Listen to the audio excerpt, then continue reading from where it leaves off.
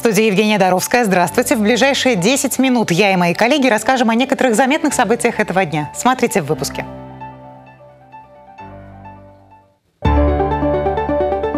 Будут тушить почти реальные пожары. Россия и Казахстан проводят совместные учения в Михайловском районе. О наболевшем открыто. Уезжают предприниматели, уезжают трудовые ресурсы, уезжают наши дети. Проблемы предпринимательства обсудили на Конгрессе в Барнауле. От консультации к операции. Мы никому не отказываем, если это надо, вплоть до экстренных детей. Томские кардиологи осмотрели более сотни маленьких пациентов края и готовы их прооперировать. Масштабные международные учения проходят в эти дни в Михайловском районе. По легенде, здесь зафиксированы возгорания в лесах. Учения проводят сотрудники нескольких ведомств сразу двух государств – России и Казахстана. Сегодня у участников практический этап. С огнем предстоит справиться специалистам природоохраны, МЧС, МВД, представителям лесных предприятий. В тушении будет задействована авиация – Одновременно пройдет оповещение населения и эвакуация людей в пункты временного размещения. Сделать это, конечно, нужно быстро, чтобы никто не пострадал. Пожары на приграничной территории считаются одной из самых горячих тем. В 2010-м огонь перешел со степей Казахстана, напомним, на земли Алтайского края, и в результате серьезно пострадали села Бастан и Николаевка. Тогда сгорело более 200 домов. Эти учения как раз и призваны отработать слаженность действий подразделений двух государств. В селе Сосновка Михайловского района весь день день сегодня работает наша съемочная группа. Корреспондент Илья Кочетков обещает жаркий репортаж. Не пропустите ближайшие выпуски нашей программы. Ну, в Барнауле тем временем ученые, бизнесмены и представители власти обсуждали проблемы предпринимательства на традиционном конгрессе. Пытались ответить на вопросы, как высокие тарифы на электроэнергию мешают развитию бизнеса, почему миграция населения региона – головная боль предпринимателей, чем живет потребительский рынок и как улучшить деловой климат. С подробностями Александр Захаров. На площадке регионального центра «Мой бизнес» обсуждали самые актуальные для предпринимателей вопросы – Главная реализация в крае нас проекта по малому и среднему предпринимательству. Чтобы все прошло успешно, необходима поддержка и устранение барьеров, мешающих развитию бизнеса. В их числе дорогая электроэнергия.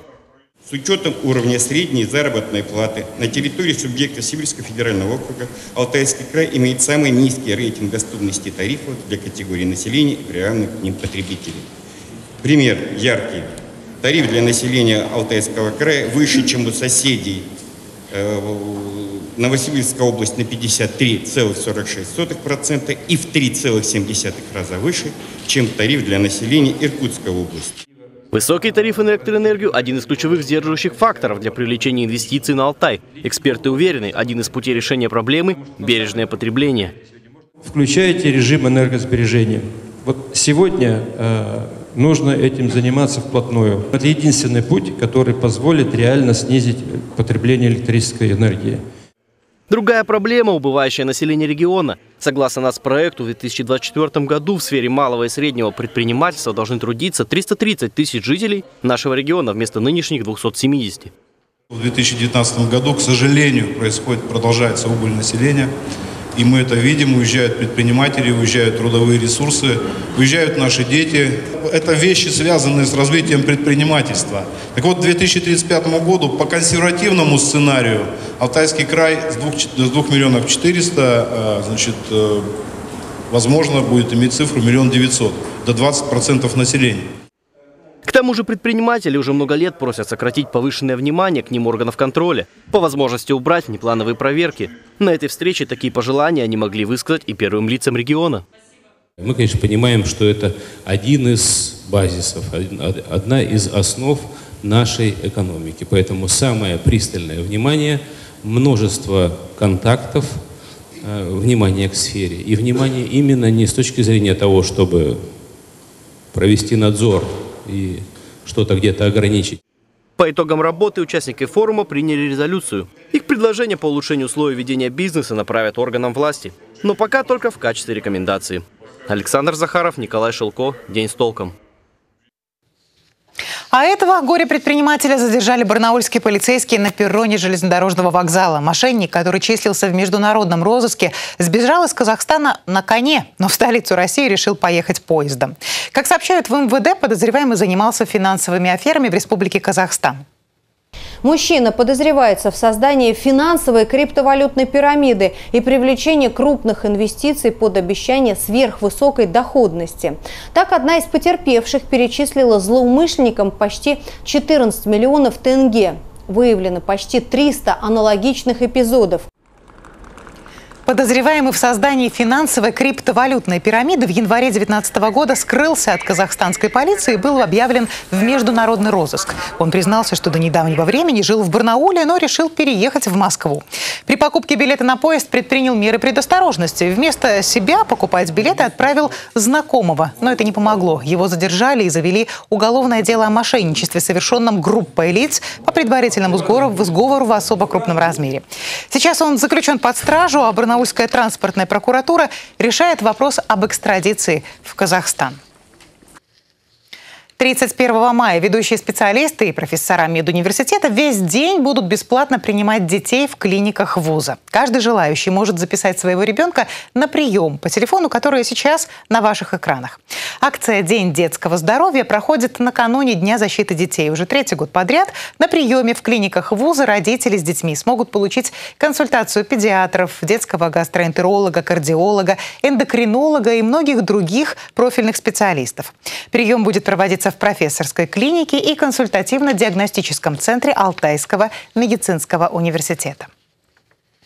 А накануне в Краевом клиническом центре охраны материнства и детства маленьких пациентов обследовали томские кардиологи вместе с алтайскими врачами. Многим нашим малышам требуется высокотехнологичное лечение, а сделать подобные операции по разным причинам в крае пока невозможно. Нуждающихся много.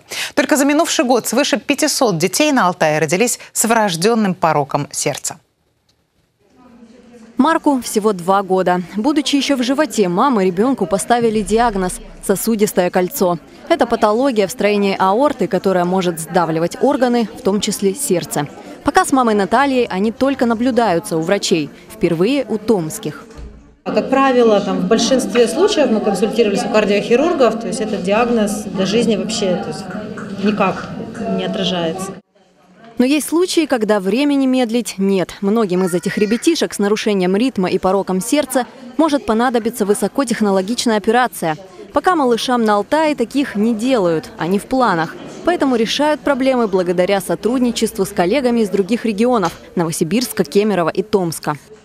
Это не только консультации детей с целью а, отбора на дальнейшее э, хирургическое лечение. Это обсуждение совместное э, со специалистами Алтайского края. Этих детей дальнейшая тактика ведения данных э, детей с данной патологией. На прием к специалистам Томского НИИ кардиологии можно было попасть только по направлению лечащего врача и пройдя отбор – в этот раз посмотрели больше сотни детей. Все, кому потребуется операция, поедут в Томск и смогут сделать ее бесплатно, по квоте. Всех, кому показана госпитализация к нам, либо для обследования, либо для проведения оперативного лечения, мы берем всех. То есть мы никому не отказываем, если это надо, вплоть до экстренных детей. То есть если тяжелые дети с врожденными пороками сердца, их везут скорой помощью, берем их сразу. Подобное сотрудничество алтайских врачей и кардиологов из федеральных центров Сибири уже многолетняя традиция, которая будет продолжаться.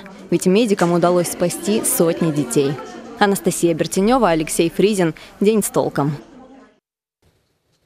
Впереди вас ждет прогноз погоды. Синоптики обещают настоящее лето, но пока немного полезной информации. Барнаульцам предлагают разгрузить кошелек, пересмотреть свое отношение к наличным и взять карту с бонусами, кэшбэком и беспроцентной рассрочкой почти на все. Карта или наличка? Чем сегодня пользуются россияне? По статистике, популярность пластиковых носителей постоянно растет, и в будущем они могут потеснить привычные нам купюры и монеты. И на это есть ряд причин. Карта зачастую не только удобнее, компактнее и безопаснее, но и обладает рядом параметров, которых нет у наличных. Например, это бонусы, кэшбэк или беспроцентная рассрочка на все покупки. Рассрочка – известный и проверенный способ оплаты товара не сразу, а на протяжении некоторого периода времени. Обычно условия по рассрочке устанавливает продавец, но есть исключения, когда правила диктует покупатель. С кредитной картой рассрочка на все от Банка Восточный предоставляется беспроцентная рассрочка абсолютно на все покупки, а также на снятие наличных. Срок ее 90 дней, лимит карты до 300 тысяч рублей. Пластиковые карты несут в себе огромный потенциал, которым наличные похвастаться не могут. Главное выбрать ту, которая даст максимальный комфорт для достижения ваших целей. Итак, спонсор прогноза погоды компания «Эвалар». А у меня к этому часу все новости. До встречи в вечернем эфире.